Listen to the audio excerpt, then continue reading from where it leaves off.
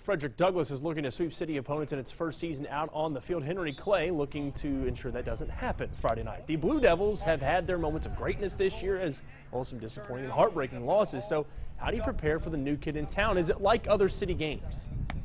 When you, when you think about a rivalry that we've had with Lafayette and Tates Creek, I mean, if you've uh, been around those coaches that are there have been there for a while, then you kind of have an idea about what they do.